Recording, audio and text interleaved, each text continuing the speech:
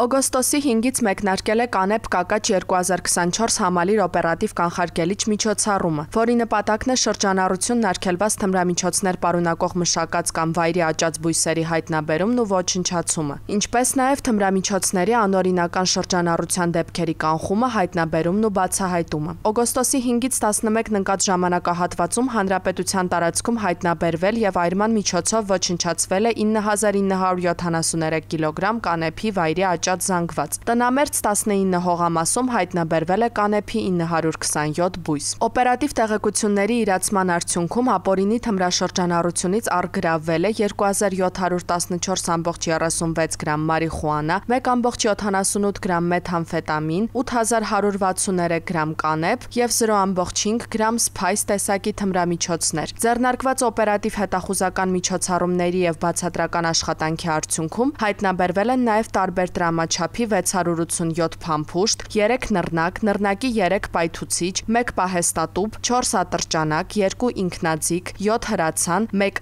ական եւ 10 արկ։ Միջոցառման շրջանակում հայտնաբերվել է 30 հետախուզվող։ Կանեփ Կակաչ 2024 համալիր օպերատիվ կանխարգելիչ միջոցառումը շարունակվում է։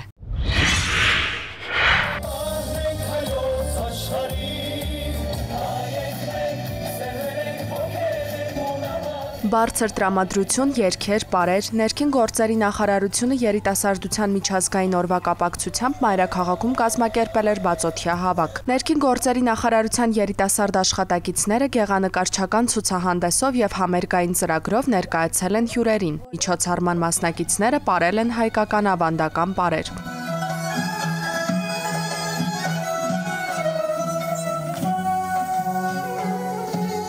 Բացօթյա ցուցասրահում փրկարար ծառայության եւ ոստիկանության աշխատակիցները ներկայացրել են իրենց աշխատանքները։ Նկարչական հմտություններն են ցուցադրել նաեւ միջոցառմանը մասնակցող երեխաները։ Ծրագիրն իրականացվել է ներքին գործերի նախարարության մշակույթի կենտրոնի կողմից։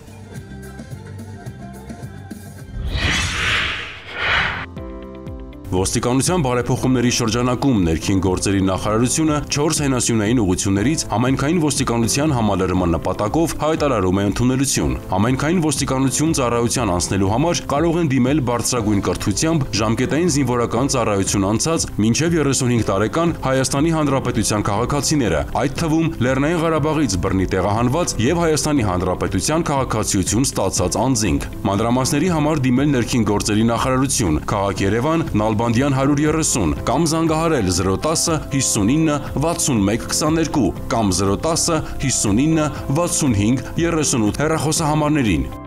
Նոր համայնքային ոստիկանությունը բոլոր ուղություններով իրականացնելու է հանցագործությունների կանխարգելում, այդ թվում ընտանեկան բռնության դեպքերին հակազդելու, անչափահասներին հանցավորությունից զերծ պահելու, ինչպես նաև համայնքների հետ արդյունավետ աշխատանք։ Ստորաբաժանմանը վերապահվելու է ոչ մեծ ու միջին ծանրության հանցագործությունների դեպքերով օպերատիվ հետախուզական միջոցառումների իրականացման գործառույթ։ Նոր համայնքային ոստիկանության ձևավորմամբ կապահովի համայնքի հետ ժամանակակից տեխնիկական միջոցներով հաղորդակցություն ու կամրապնդվի քաղաքացի համայնքային ոստիկան կապը։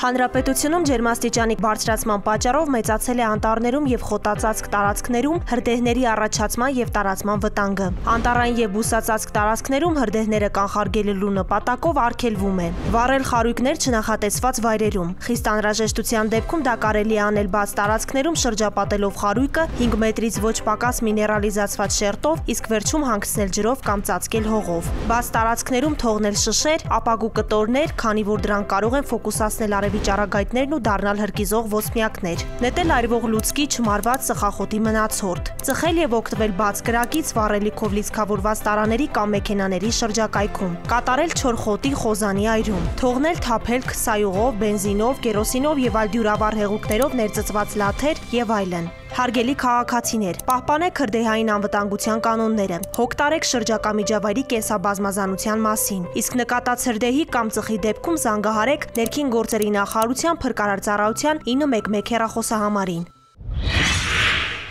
Մայիսի 1-ից հետո տեսանկարահանող կամ լուսանկարահանող սարքերով արձանագրված խախտումներով կայացված որոշումներն էլեկտրոնային ծանուցման եղանակով ստանալու դեպքում վճարման ենթակա դուգանքի գումարը կնվազի 20%-ով։ Էլեկտրոնային ծանուցումն ակտիվացնելու համար պետք է կատարել հետևյալ հաջորդական քայլերը։ Անհրաժեշտ է մուտք գործել Հայաստանի Հանրապետության ոստիկանության ճանապարհային ոստիկանության ծառայության առցանց հարթակ roadpolice.am համակարգ։ Օրինակ այսպես.